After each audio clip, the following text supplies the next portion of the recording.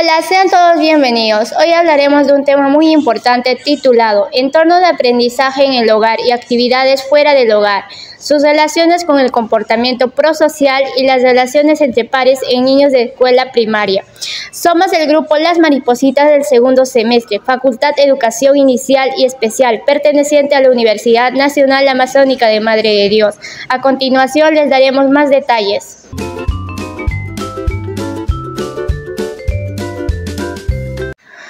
Conceptos teóricos y metodología del estudio. El desarrollo socioemocional del niño está influido por diferentes contextos como el familiar.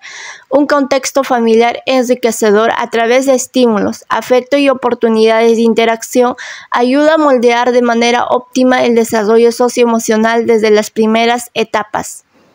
Pocos estudios han investigado simultáneamente los efectos del ambiente aprendizaje en el hogar predominado HLE y las actividades extracurriculares.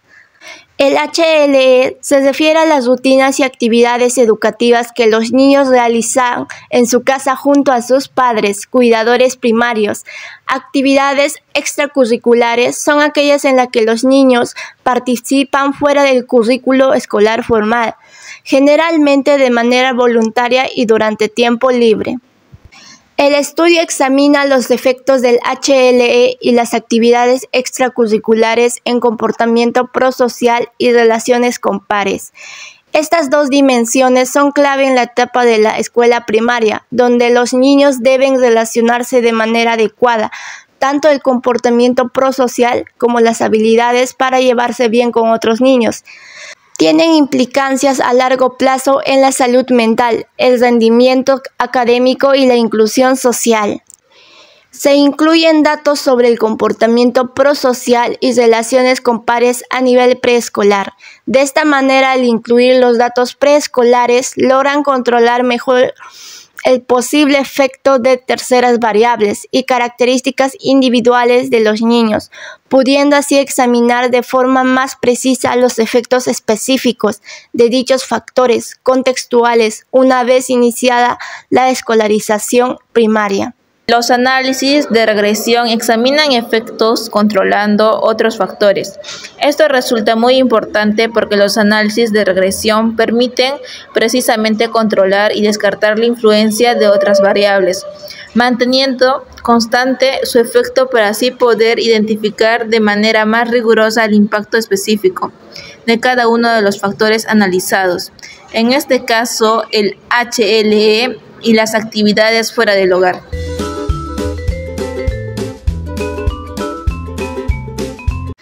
Factores influyentes estudiados. Factores como el HLE y las actividades extracurriculares influyen en las habilidades socioemocionales estos hallazgos tienen implicancias para reforzar programas de estimulación temprana y apoyo familiar. También se justifica impulsar oportunidades recreativas y socioculturales para la niñez y es necesario que docentes y familias comprendan el rol del contexto y lo tengan presente. Factores como el estatus socioeconómico, la estructura familiar y el género influye en el desarrollo de habilidades socioemocionales.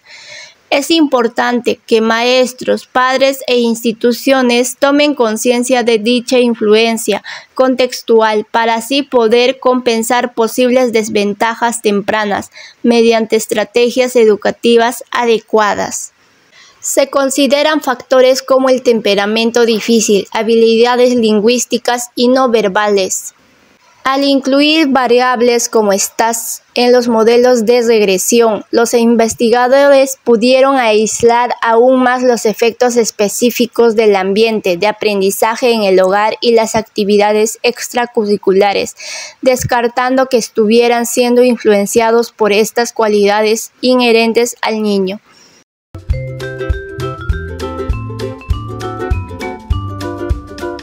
Componentes del HLE y actividades extracurriculares. El HLE es un constructo multidimensional que incluye actividades compartidas.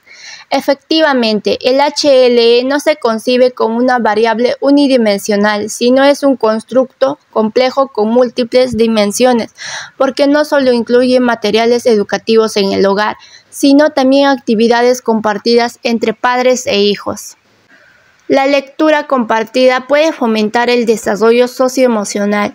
La lectura conjunta es una práctica que permite la interacción, el diálogo y la cercanía afectiva entre padres e hijos. A través de cuentos se puede abordar temas que estimulan la empatía, la solidaridad y la resolución de conflictos.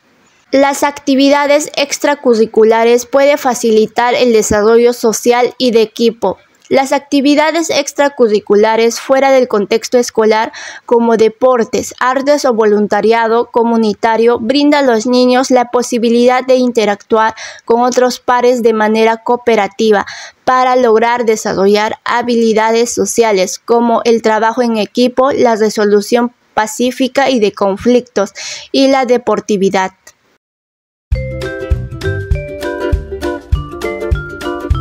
Resultados del estudio. Se encontraron efectos de las actividades extracurriculares en el comportamiento prosocial.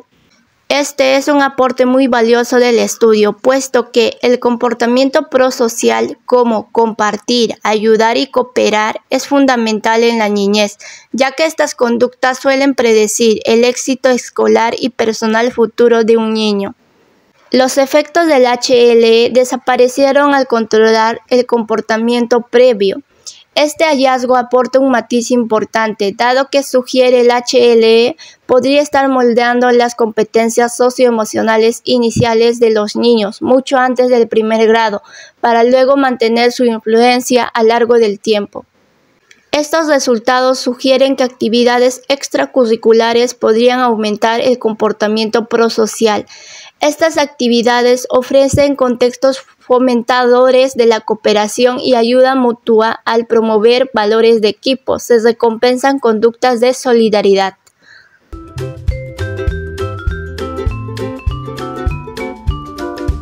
Hallazgos de investigaciones previas. La mayoría de estudios encontraron efectos de estatus socioeconómico, estructura familiar y género.